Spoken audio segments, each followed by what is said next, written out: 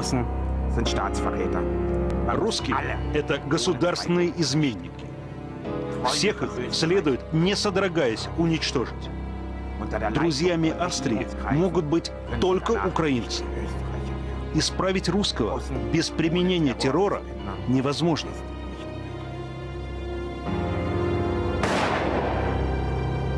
Ляхов, жидов, москалей, коммунистов уничтожать без сожаления.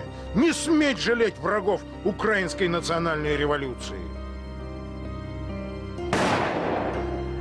Восстановленное украинское государство будет тесно сотрудничать с национал-социалистической Великой Германией, которая под руководством Адольфа Гитлера помогает украинскому народу избавиться от московской оккупации.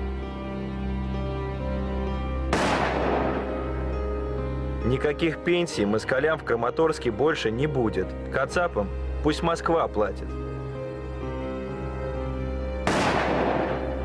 А когда всех русских вышлют в Россию, сколько у нас ровно квартир освободится? И все это говорят люди, чьи предки еще совсем недавно с гордостью называли себя русскими.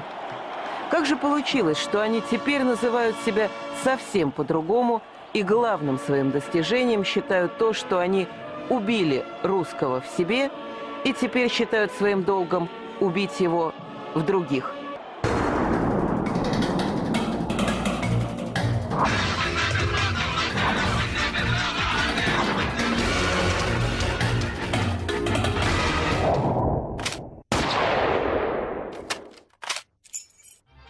Ведь как все хорошо начиналось. Просвещенной баре интеллигенция начала XIX века попала под влияние новой моды – изучать народную жизнь. Песни, обычаи, говор. Некоторые, как Котляревский, даже перекладывали на народный лад классические произведения. Ну так, забавы ради. Еней был в парубок моторный, хоть куды казак. Действительно забавно. Но в это же время стали появляться и другие книги, совсем не смешные – Никакого единого народа на самом деле нет. Есть на самом деле русский народ, который живет в Малороссии.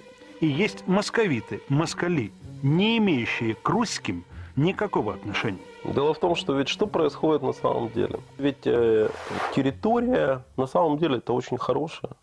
Быть э, первым на украинской территории это очень здорово. В Украине воды полно, горы есть, степи есть. Полезные ископаемые есть. Да не хватает его на всех, понимаете? Вот этой территории на всех не хватает. А получить эту землю действительно пытались многие. Бросим пожары и бомбы за Днепр и Дон. Самое сердце Руси. Возбудим споры и ненависть в русском народе. Русские сами будут рвать себя своими собственными когтями, а мы будем расти и крепнуть. Из завещания польского генерала Людвига Мирославского. 1878. Жечь Посполита от можа до можа. Речь Посполита от моря до моря. Девиз и давняя, так и не сбывшаяся мечта поляков. Территориям современной Украины в этих мечтах отводилась ключевая роль. Они должны были стать мясом так и не появившегося на свет организма – Великой Польской империи – осиновый кол в эти мечты вбила Екатерина II. «Отторженная возвратих», — приказала она вычеканить на медалях в память увеличения российских территорий. Во многом эта надпись относится именно к территориям нынешней Украины. Почему не состоялась тогда Великая Жечь Посполита, выясняют историки, но вот память о том, что она могла бы быть, осталась расколоть Россию любой ценой, чтобы вернуть утраченные территории. Таким стал план поверженной Польской империи. Во время подготовки похода Наполеона на Москву польский генерал Сокольницкий настоятельно советовал императору идти с армией сначала на Киев.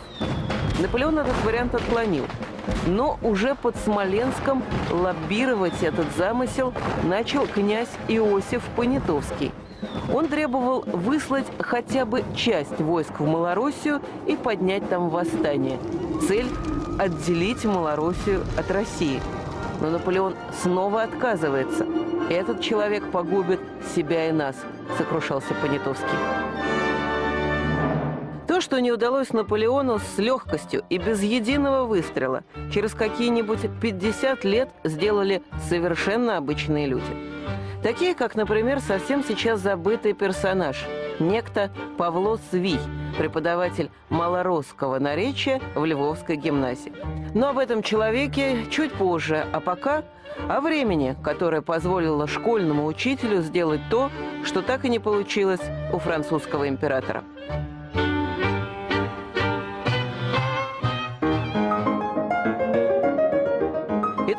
Итак, 19 век, весна народов, Европа бурлит, грезит революции, старая политическая карта трещит по швам, появляются новые империи страны. Итальянцы, французы, немцы начинают чувствовать самое главное. Они именно итальянцы, французы, немцы. И именно такими итальянскими, французскими, немецкими должны быть их государства. Дело в том, что, понимаете, в 17 веке Э, французы ведь тоже э, в большей части не были французами. Они были там гасконцами, нормандцами. То есть французов тоже сделали сравнительно недавно. В 19 веке, убив э, все региональные французские языки, от бретонского до провансальского, а их там масса была, да, вот, и вбив такую э, очень рационалистическую и примитивную национальную модель. Но точно так же были сделаны немцы. Украинца делают, убив в украинце русского. Но никакой Украины в этом бурлящем котле даже случайно не промелькнуло. Восточное княжество бывшей Киевской Руси по-прежнему называет себя Русью или Малороссией. А вот западные уже давно вошли в состав сначала Речи Посполитой, а после кончины этой не состоявшейся империи достались по наследству империи Австро-Венгерской. Парадокс. Никакой Украины на карте нет, зато уже появились те, кто готов отказаться от имени «русский» и назвать себя украинцем. И не просто украинцем, его эталонным вариантом. За много лет нахождения под властью абсолютно чужих и ментально, и национально, и религиозно государств, на Западной Украине сформировался совершенно другой психотип человека, который готов в глаза соглашаться с хозяином, который готов его хвалить и боготворить, и ночью с таким же хладнокровием и усердием перерезать ему горло. Именно поэтому во Львове, в Западной Украине так сильны, ну скажем, националистические движения, различные бредни об исключительности украинцев.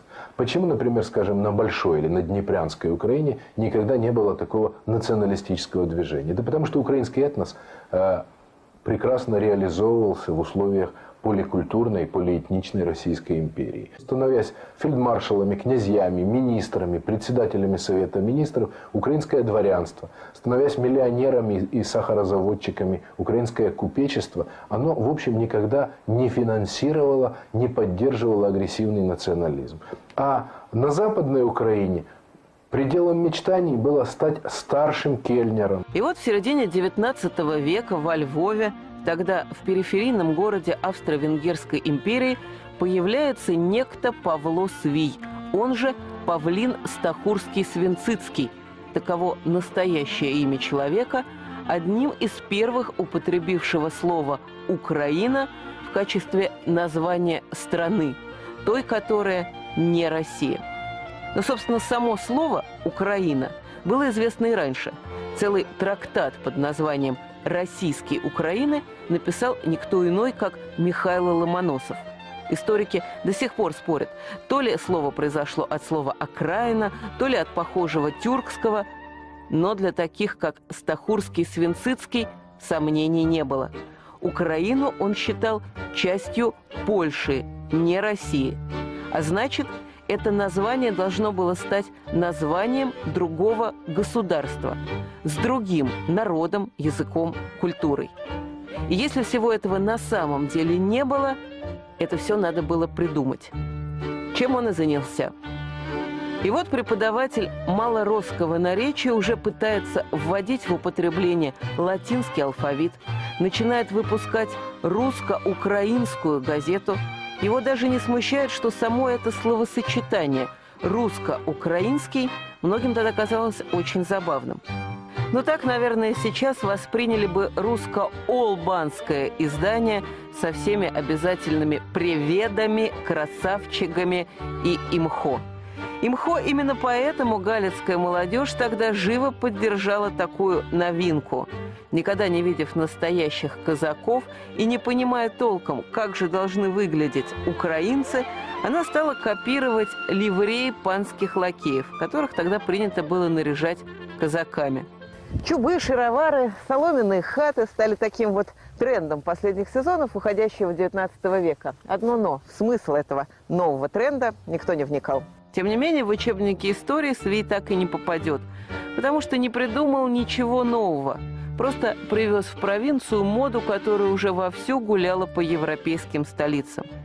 И по странной иронии судьбы, главной кузницей украинских националистов стали великосветские гостиные Москвы и Санкт-Петербурга. Именно этой моде на народную экзотику обязан своей славой никто иной, как икона украинских националистов – Тарас Шевченко.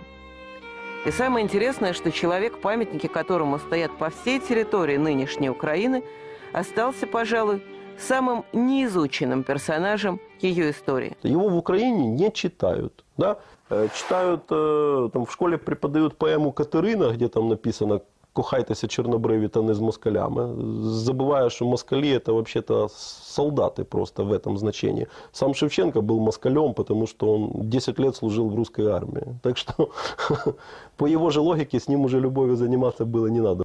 У Тараса Шевченко на русском языке написан интимный дневник его. Ну вот где он описывает все, как он в публичный дом ходил, да, там, как у него что где болит с перепоя. Это все у него написано на русском языке. Когда человек пишет дневник на русском языке, это говорит, что русский язык для него органичен. Вот он абсолютно э, ну, вошел в его плоть и кровь, иначе не скажешь. Э, и миф это всегда ложь. Если мифы сочиняются, значит это кому-то нужно. А романтиками, как правило, всегда руководят и пользуются более чем жесткие прагматики. В Австро-Венгрии и в Германии к новой тенденции отнеслись более чем серьезно. Они прекрасно поняли, какие последствия будут у этой невинной, на первый взгляд, забавы – убийства русского в себе. Накануне Первой мировой Берлин и Вена поставили на украинскую карту. Для победы оставалось только убить русского в других. Москалі, комуняки, запроданці, перевертні. Львовское кафе «Крыивка». В последнее время это просто местная туристическая мекка. Нелюбовь к москалям и демонстративное почитание неоднозначных исторических фигур стали своего рода символами этого города. Но, казалось бы, ничего удивительного. Львов на то и Львов. Одно «но». Еще до Первой мировой войны это был абсолютно русский город. Местные архивы свидетельствуют, во времена церковных праздников в Почаевскую лавру через границу прорывалось до 400 крестных ходов. Здесь работали десятки русских школ, гимназий. На русском языке выходили журналы «Слово», «Червоная Русь», «Галичанин», «Русская библиотека», «Славянский вестник». Однако те, кто из соображений личной выгоды, успешной карьеры в Австро-Венгерской империи уже успели убить русского в себе, уступать власть отнюдь не собирались. Сын священника греко-католической церкви убил наместника генерал-губернатора Галиции, э, графа Потоцкого, в 1908 году. Парадокс этой ситуации тоже раскрывает западноукраинскую ментальность. Это был тот мальчишка, которому Потоцкий исхлопотал право учиться в университете на казенный кошт, и который у него до этого был лично на приеме. Вот это ментальность Западной Украины. А вся вина Потоцкого была в том, что он не душил украинское национальное движение, не закрывал школы, не громил церковь. Он просто сказал, что он аристократ и высший сановник империи, и манипулировать избирательными голосами, переворачивать урны, закрывать раньше, открывать позже участки, он не будет. Он не будет. И москвофилы получили такое же количество мест, как националисты. Ответили, как всегда, с помощью пули из-под тяжка на приеме. Это убийство положение дел не изменило. Практически все жители здесь, на окраине Австро-Венгерской империи, по-прежнему продолжали считать себя русскими, о чем Вена постоянно получала официальные и полуофициальные сообщения – Известно ли Вашей Экселленции, что в Галичине есть много русофильских бурс для учащейся молодежи, воспитанники которых приобретают в армии права вольноопределяющихся и достигают офицерской степени? Каковы виды на успех войны, ежели в армии среди офицеров так много врагов-русофилов? Из письма председателя Львовского украинского клуба Кости Левицкого австрийскому министру войны. 1912 год. Этот депутатский запрос, а если называть вещи своими именами, банальный донос председателя украинского клуба, не был оставлен без внимания. Студентов-славян официально лишили офицерских прав, в администрациях сел начали составляться списки, по которым арестовывали всех русских – армия получила военные карты с подчеркнутым красным селами, в которых голосовали за русских депутатов австрийского парламента. Села эти с началом Первой мировой войны будут полностью стерты с лица земли. А Кость Левицкий, автор доноса, в 1918-м возглавит Государственный комиссариат Западноукраинской Народной Республики. Пока Австро-Венгрия проводит зачистки в русских селах. За несколько дней до начала Первой мировой в Вене в военном дивизионном суде слушалось дело со стандартным уже обвинением – государственная измена, шпионаж в пользу России. По делу проходили семь человек – крестьянин, кузнец, журналист, адвокат и три русских депутата австрийского парламента. В качестве улик были представлены письма на русском языке, русские книги – газеты, которые приходили, кстати, вполне официально с помощью австрийской почты, открытки с видами России. Известный адвокат Федор Ванё, который на этом процессе выступал в качестве свидетеля, сформулировал суть дела так. Кто употребляет русский язык, не может быть хорошим австрийцем. Хорошим австрийцем может быть только украинец. Федор Ваньё из выступления на Первом Венском русском процессе. Тем не менее, даже такое давление не давало плодов. В этой обстановке началась Первая мировая война.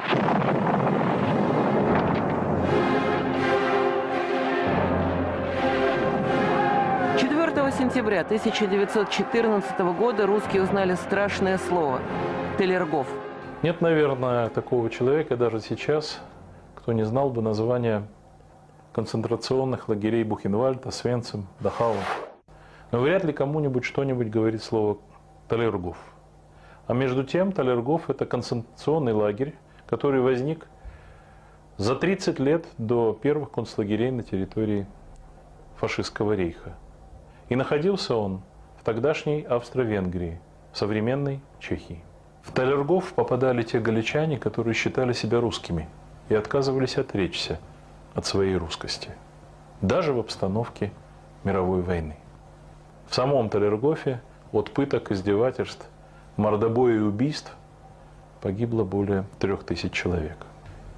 И что самое отвратительное, идеологами и непосредственными исполнителями этих массовых убийств в Талергофе были те самые мазепинцы, австро-украинцы, которые вначале убили русского в себе, а затем уже физически убивали русских, бывших своих соплеменников и сограждан.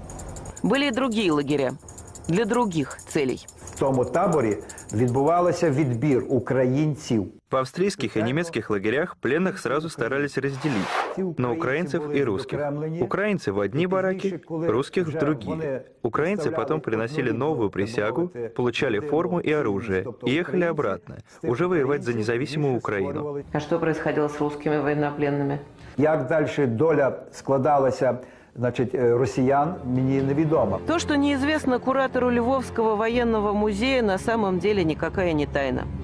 Русских, отказавшихся переходить на сторону врага, ждали тысячи и тысячи безымянных могил вокруг подобных лагерей. Ну а старый проверенный метод «разделяй и властвуй» был потом с успехом использован еще не раз. «Украину сделал я», заявил в 1919-м немецкий генерал-майор Макс Гофман. Из интервью Макса Гофмана газете Daily Mail 1919 год. В действительности Украина – это дело моих рук, а вовсе не плод сознательной воли русского народа. Я создал Украину для того, чтобы иметь возможность заключить мир хотя бы с частью России. Такие заявления отнюдь некрасивые слова. Генерал-майор Гофман фактически был главой германской делегации на мирных переговорах в Брест-Литовске. Одновременно с представителями Советской России туда прибыли и представители так называемой Украинской Народной Республики. Пока делегация Советов во главе с Троцким изо всех сил затягивала переговоры, украинцам немцы предложили простую вещь – объявить независимость Украины от России в обмен на военную помощь Германии. Фактически Киеву предложили согласиться на оккупацию.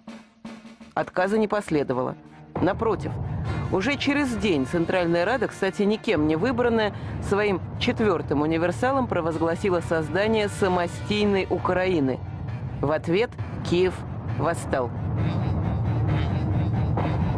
В советском мифологическом пантеоне киевское восстание 18-го трактовалось исключительно как борьба рабочих с контрреволюционным правительством.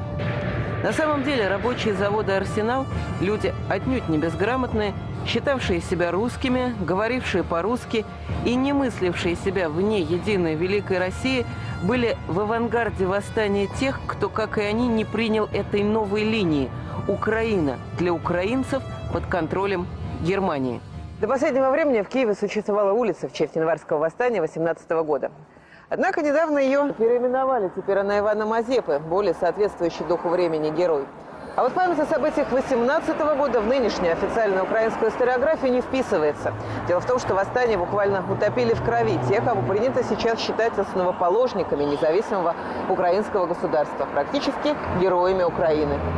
В Киев были срочно вызваны воинские формирования во главе с Симоном Петлюрой. Практически безоружных людей расстреливали с помощью тяжелой артиллерии, а когда сопротивление было подавлено, в Киеве началась резня. Особыми зверствами отличились сам Симон Петлюра и его ближайший соратник, пан атаман сечевых стрельцов Евген Коновалец. Чуть позже именно он создаст Украинскую военную организацию УВО. Потом она же превратится в Организацию украинских националистов. Ну а пока в Киеве тысячами считают жертв подавленного восстания Арсенала. Вот лишь одно из свидетельств очевидца. На второй же день после вторжения Петлюры мне сообщили, что анатомический театр на Фундуклеевской улице завален трупами. Господи, что я увидела? На столах в пяти залах были сложены трупы жестоко, изуверски, зверски, злодейски замученных. Ни одного расстрелянного или просто убитого. Все со следами чудовищных пыток. На полах были лужи крови, пройти нельзя, и почти у всех Головы отрублены, у многих осталась только шея с частью подбородка, у некоторых распороты животы. Всю ночь возили эти трупы. Такого ужаса я не видела даже у большевиков. Видела больше, много больше трупов, но таких умученных не было. Из воспоминаний сестры милосердия Марии Нестерович Берг. Впрочем, ни немцы, ни австрийцы и ни поляки более всего помогли в становлении вдруг возникшей украинской нации. Самые главные богодетели снова оказались в Петербурге и в Москве. В 17-м националистам невероятно повезло. На их стороне выступила сама власть большевиков. Они отлично поняли, пока советская Россия еле-еле стоит на ногах, для удержания власти надо идти на союз с кем угодно и как угодно. Большевики, да, наши большевики, знаете, э, в партии, э, тут было в большевистской партии на Украине, э, в партийных кадрах было много украинцев, которые искренне в это верили, ну, Скрипник, и другие, которые искренне в это верили и проводили эту украинизацию. На самом деле связи между большевиками и националистами даже гораздо более крепкие и давние, чем они сами признают. Союз освобождения Украины. Организация, в состав которой входили практически все лидеры украинских националистов. Во время Первой мировой она не просто выступала практически с ленинскими идеями. Содействовать поражению в войне тюрьмы народов России. Руководители этой организации получали финансирование через некоего Израиля Гельфанда от германского МИДа. Израиль Гельфанд, псевдоним Александр Парвус, одна из самых ярких фигур Второго интернационала. В начале Первой мировой предложил германскому МИДу оригинальный бизнес-проект – добиться поражения России в войне руками революционеров. На дело революции Парвус получает 1 миллион марок. Позже ему удается добиться еще и дополнительного транша на доставку Петроград Ленина в том самом запломбированном вагоне по территории воюющей с Россией Германии. Но не только общие знакомые роднили большевиков и националистов. Ленин и его ближайшее окружение прекрасно понимали, что проводимая ими национальная политика прежде всего позволяет уничтожить интеллигенцию, которая лучше других понимала суть происходящего. Лето 1922 года. Ленин Сталину о высылке из России меньшевиков, НСов и кадетов. Харьков обшарить. Мы его не знаем. Это для нас за граница. Обшарили не только Харьков. К Украине решили присоединить и срочно украинизировать Донбасс, Таганрог, практически никогда не говорившие ни на каком украинском языке, Таврическую, Херсонскую губернию, Екатеринославскую губернию, в городах которой тоже знали только один язык – русский. Да что там не знали украинского? Украинский язык срочно придумывался новой властью буквально на ходу. В 21 году в Киеве открыли даже специальный институт научного языка, задачу которого входит именно придумывание терминов. Без знания языка было запрещено занимать государственные должности. Невозможно получить работу, учиться в институте. Но и сдать экзамен по несуществующему языку практически невозможно. Совпадение или нет, но именно в это время оформляются и становятся реальной политической силой первые массовые организации украинских националистов. Кстати, по иронии судьбы, идеологом украинского национализма стал русский Дмитрий Донцов. Дмитрий Донцов, уроженец Мелитополя, позже переехал в Царское село.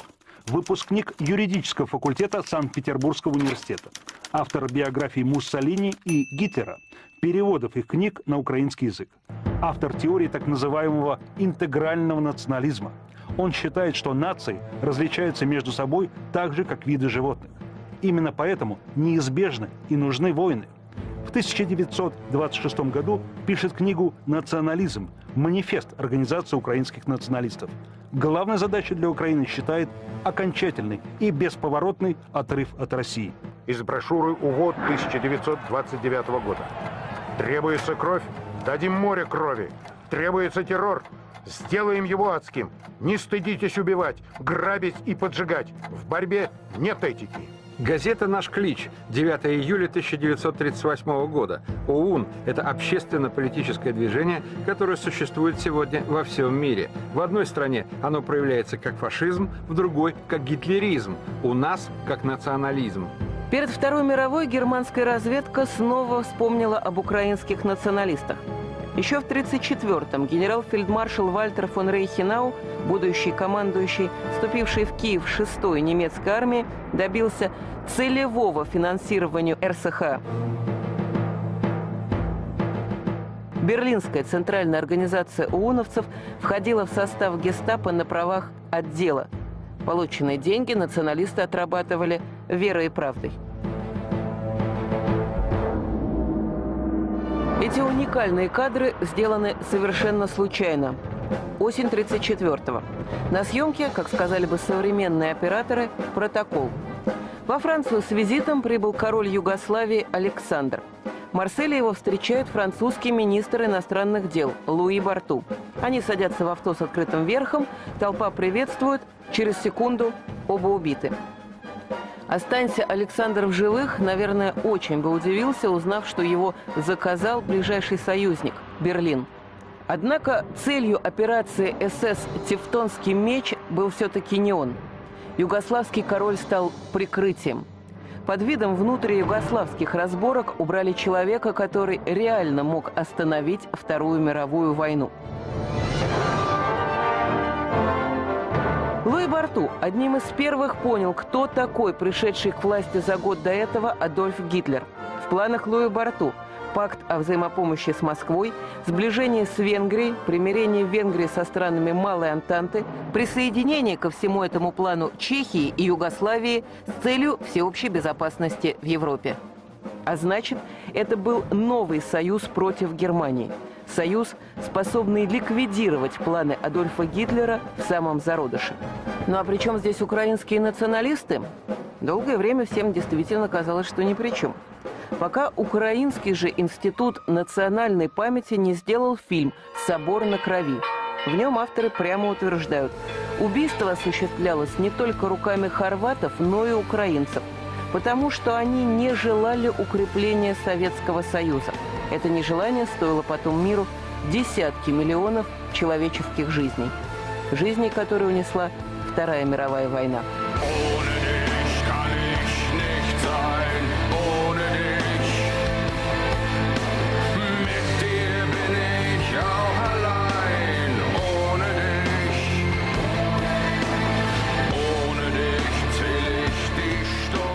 После оккупации Украины местных националистов немцы поддержали уже открыто. И морально, и материально. На этих кадрах грузят эшелоны для отправки в Германию. Истинные арийцы должны получать хорошее питание. Но и их союзники тоже.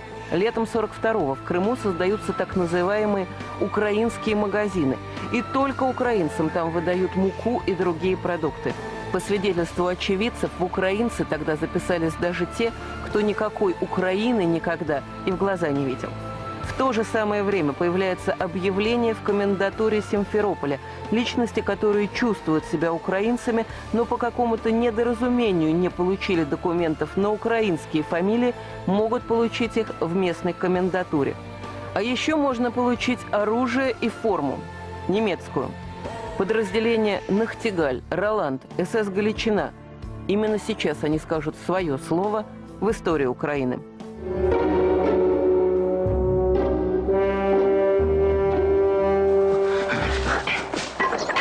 Посмотри за сараем там. Хлопці, сувіти.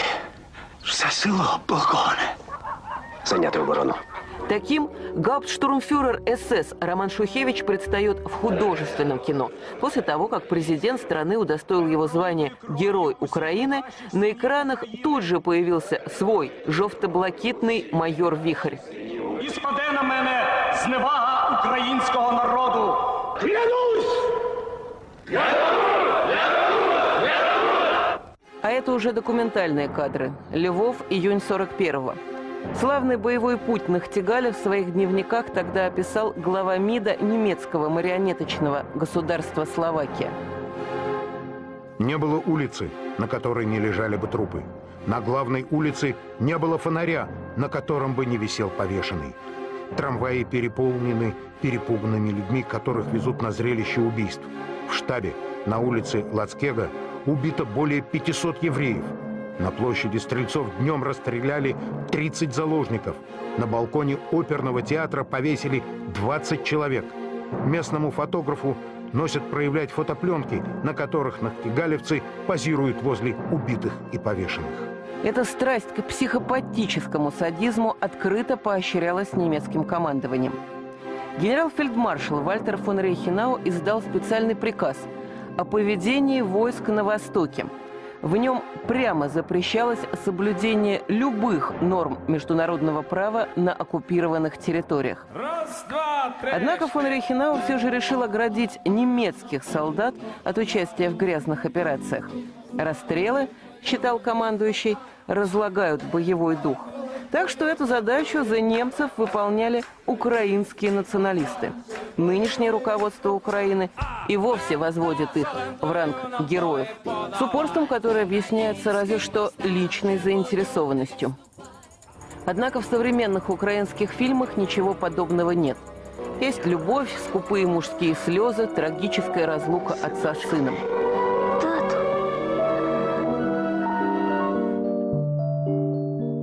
Мелодрама. Если не знать, что отец – это тот самый гауптштурмфюрер СС Шухевич, а сын – сын и сейчас живая легенда украинских националистов. когда именно этот борец за Украину призывал 18-20-летних мальчишек ехать воевать в Чечню, Абхазию, Осетию, не нашлось никого, кто задал бы простые вопросы. А какие национальные интересы там могут быть у Украины? За что там придется умирать? И зачем вообще туда ехать с оружием в руках? Конечно, матери плакали, потому что, ну, это сыновья. Но, тем не менее, осуждения не было. Ни меня, ни того, что они туда пошли. Они туда добровольно поехали. А зачем? Сражаться с русскими. Логика вполне проста. Во Львове они уже победили. Вот здесь, на улице Сербской, в доме с несчастливым номером 13, жил известный писатель, историк и публицист Виталий Масловский. В середине 99-го Масловский закончил работу над новой книгой «С кем и против кого воевали украинские националисты». Три месяца после выхода книги в свет превратились для писателя в настоящий ад – Своим родственникам и знакомым он жаловался, что каждый раз, как выходит из дома, он наталкивается на незваных и, мягко говоря, недоброжелательных попутчиков. Один раз нервный писатель не выдержал, он обернулся и сказал, что вы от меня хотите? Скоро узнаешь, ухмыльнувшись, ответил тот. Однако ничего узнать Масловскому так и не удалось. Вскоре после этого он погиб при весьма странных и загадочных обстоятельствах. По официальной версии, Виталий Масловский разбился случайно в пьяном виде, упав в пролет собственного дома. Одно «но». Смотрите внимательно. Мой рост – метр семьдесят пять сантиметров. Для того, чтобы случайно перелететь через такие перила, я должна встать на цыпочки, подтянуться на руках и сделать несколько довольно замысловатых акробатических трюков. Я уж не говорю о том, что Виталий Масловский был намного ниже меня. Он не только не обладал хорошей физической подготовкой, у него и вовсе не было одной руки. Тем не менее, дело так и осталось нераскрытым, и при этом появляется ощущение некоего дежавю. 24 октября 49 года. Львов. В своей квартире найден убитым писатель Ярослав Галан, разоблачавший связи украинских иерархов униатской церкви и гитлеровцев. На его теле обнаружено 11 ударов топором, 10 из которых признаны смертельными. Между тем, вся кровавая история национализма только укрепила политиков разных стран и разного толка в одной мысли. Национальная карта – это даже не козырь. Это Джокер, с помощью которого можно убить. Если бы современный человек мог перенестись в средние века, то ему пришлось бы менять все привычные точки отсчета координат. Тогда не было ни национальности, ни этносов. Вот все то, что сейчас привычно называется геополитикой, тогда, в общем-то, сводилось, по сути, к одному – к вопросам вероисповедания. В начале 13 века сюда, в Киев, забрели несколько доминиканцев. Обжились, завели хозяйство, но вот когда начали проповедовать, князь Владимир распорядился однозначно – гнать в зашей – ни о каком партнерстве во имя мира, как сказали бы сейчас, не могло быть и речи. Запад никогда не скрывал свой корыстный интерес к России. А для достижения своих целей мало было одного насилия. Надо было изменить язык, историю, культуру, религию, образ мыслей, душу. Ваше Величество, по твердому моему убеждению, без единства церковного, под единым верховным пастырем, единым главой матери нашей католической церкви, невозможно и державное единство Речи Посполитой. Из письма иезуитского проповедника Петра Скарги польскому королю Сигизмунду III. К таким письмам с мест польская власть прислушивалась внимательно. Католичество насаждалось огнем и мечом. Все русское, православное вырезалось и выжигалось. Именно за это, за право называть себя православным, русским, отдавали жизни наши предки из Чернигова, Киева, Волыни. И именно поэтому Переяславская Рада 7 января 1654 года высказалась однозначно «Волем царя Московского православного». То, что не получалось ни в 15, ни в 17, ни в 19 веках, получилось в веке 20. Сейчас на левом берегу Днепра завершается стройка церковного комплекса, храма и резиденции митрополита. В Киеве таких комплексов много, да и размер не самый большой. Но размер в этом случае не имеет значения. Потому что теперь в древнем православном Киеве на левом берегу Днепра будет резиденция митрополита греко-католической церкви, подчиненной Риму. Так далеко власть католического Запада не распространялась никогда. Миллионы людей, которые погибли на этих берегах, защищая свою веру, свою русскость, выходят теперь погибли зря. Украине принадлежит в мире, в Европе сомнительная честь первооткрывателя так называемой государственной церковной политики. Национальная церковь нужна любому авторитарному режиму для укрепления своей власти. Петлюра хотел национальную церковь. Розенберг считал, что в Украине нужно создать национальную церковь для того, чтобы разорвать связи между традиционным православием. И Ющенко тоже пытается любыми путями и способами создать национальную церковь. Вообще это все очень пахнет фашизмом, потому что только фашистские тоталитарные государства пытались жестким администрированием, террором создать полностью подчиненную государственному аппарату церковь. Церковь крови, как называли ее немцы, церковь национальную, как называл ее Петлюра, и как повторяет, что страшно, в 21 веке президент Ющенко. Идет дерибан православных стран. Они, американцы, все хотят это все разделить. Русские шовинисты. Это плохо. Но мы националисты, это хорошо. Сам девиз «Украина понад усе». Подождите. Вот. А, а Бога куда тогда? Религию, церковь. Кто же они, авторы большого украинского мифа? Кто и как придумывает и вбрасывает идеи в общество? Сегодня это те же самые люди, которые в свое время вбивали в массы идеи марксизма-ленинизма. Один из них – Станислав Кульчицкий – Станислав Кульчицкий, до развала СССР коммунист, известный советский историк, автор научных трудов о социалистической индустриализации Донбасса, преимуществах социалистического способа хозяйствования, родом из смешанной польско-армянской семьи, родным языком считает русский. Теперь тот же самый Станислав Кульчицкий, известный антикоммунист, не советский, а украинский историк, автор и идеолог прикладного варианта теории Голодомора как геноцида именно украинского народа, куратор всех современных учебников истории Украины, один из руководителей органа, получившего неофициальное название идеологической полиции Института национальной памяти Украины – о том, как произошло такое чудесное превращение, Станислав Кульчицкий рассказал сам. Я могу сказать вам, я имею анкету Брежневым, заполненную Брежневым. Он же тут э, в Днепропетровске работал перед войной. Он соукраинец. Вот. Да. А почему? Может быть, он ощущал себя русским, не в этом дело. Но украинцы в Украине в партийном аппарате им давали первенство в занятии всяких номенклатурных должностей. Так я стал украинским историком. О том, как придумывался Голодомор, господин Кульчицкий говорит с такой же обезоруживающей откровенностью. Сначала была создана комиссия не на Украине, в Америке. Возглавлял ее историк Джеймс Мейс. И на основании опроса произвольно выбранных людей эта комиссия написала отчет о Великом Голоде, но только на Украине.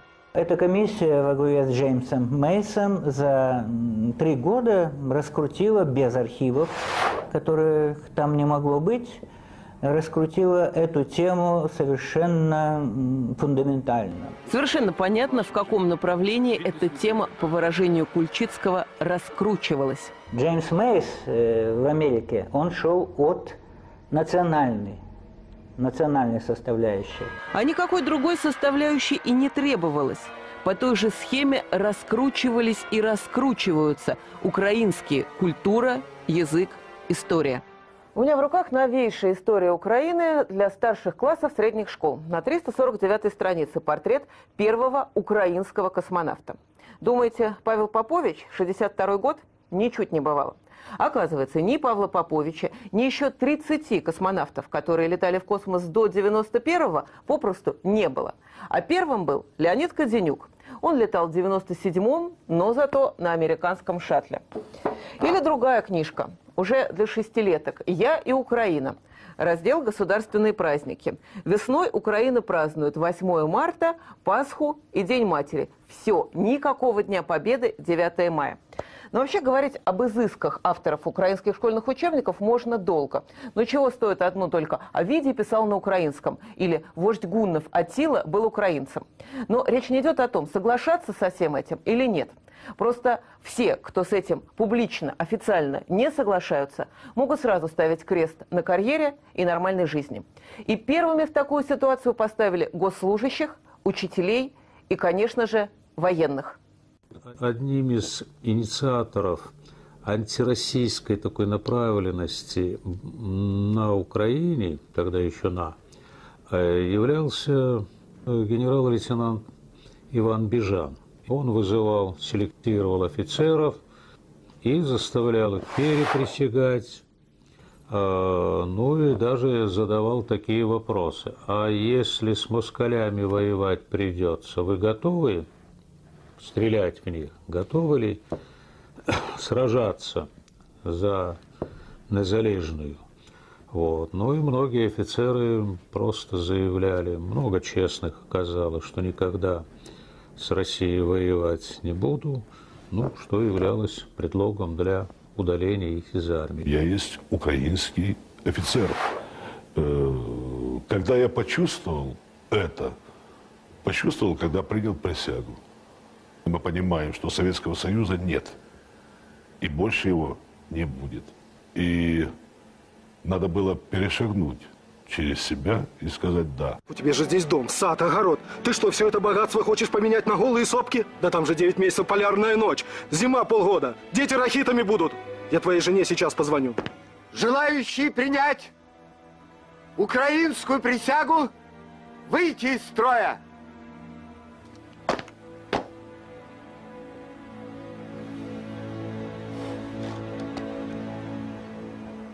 Остальные айда за мной. Оркестр! Прощание славянки! Есть! Экипаж! Шагом! Арс!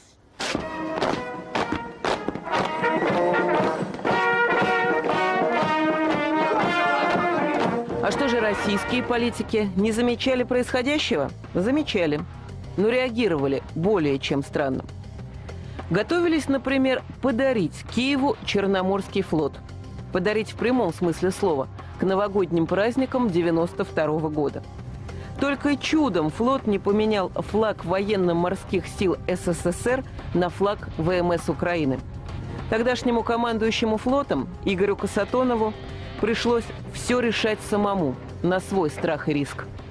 В России все 3 января 92 года все спрятались. Никого нельзя было застать. Поэтому вот я 5 января объявил свое политическое волевое решение. Российский, Черноморский флот, российский, украинскую присягу не принимать, будем ждать политического решения. Со мной беседовал кадровик Севастьянов. Это кадровик, который был в администрации Ельцина, кто занимался кадровыми вопросами. Один из таких вопросов, который был задан, он был задан в виде упрека, это был вопрос, почему я не сдал Севастополь и почему я не принял украинскую присягу. Э, я был обязан, по его разумению, сдать Севастополь и принять украинскую присягу как командующий флотом. Я, конечно, нарушил в том числе как бы их планы. Это было мне упрек, и, естественно, случилось так, что меня министр, заместитель министра меня не назначили, потому что еще выше сказали, значит, он создаст для вас проблемы. Случай с Черноморским флотом, к сожалению, не уникален. В Москве всегда почему-то находились очень влиятельные защитники интересов украинских националистов. При этом большинство тревожных сигналов с Украины Москва с каким-то непонятным упорством просто игнорировала. Москва всегда ну, почти всегда, в различные периоды истории проявляла просто чудеса неинформированности или даже нежелания э, прорабатывать информацию, идущую с Украины, я думаю, не только с Украины, со многих национальных окраин. Взять пример да, Петра Первого, умный политик, э, э, много э, предвидел вперед, много просчитал вперед. Но, извините, ведь Мазепу-то откровенно проспали. То же самое было здесь, сейчас, в конце 80-х, начале 90-х годов, когда кто только не предупреждал Москву об угрозе того, что повлечет за собой украинский язык как государственный, насильств, очередной виток насильственной украинизации и так далее. Я много раз говорил э, и с э, послами российскими тут в Украине, и э, в том числе и с Виктором Степановичем Черномырдиным, и говорил, что ну учитесь, вот же э, показывает пример, как надо работать э, в идеологическом плане, не жалейте денег. Э, На что он мне сказал, что Петр Петрович, мы и так вас датируем, мы вам дешевый газ даем. Между тем, авторы большого украинского мифа почивать на лаврах отнюдь не собираются. Ведь если за какие-то сто с небольшим лет им уже удалось заставить миллионы людей в этот миф поверить, превратить придуманную матрицу в реальность, то почему тогда утопии кажутся нарисованные ими же политические карты будущего, без России? И для этого не понадобится даже воевать. Хорошо знакомый военным историкам термин «стратегия анаконды». Сейчас он популярен как никогда. Подобраться с окраин, выдавить с морей, тихо душить и переварить, заставив народ, который победил в самой страшной войне человеческой цивилизации, поверить в выдуманное прошлое, в то, что его, этого единого и великого народа, и не существует. А убив русского, пусть даже в выдуманном, нереальном мире, вполне реально убить всю Россию. Thank you.